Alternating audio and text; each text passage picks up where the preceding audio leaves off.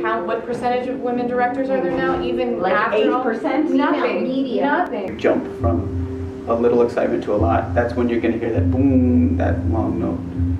Um, and there's, yeah, right now, it's like you want me to stop talking. Say, uh, when we get back to the city and you know you get all ugly again, you wanna like say have some dinner or something? What, are you kidding? This is the way you ask me out?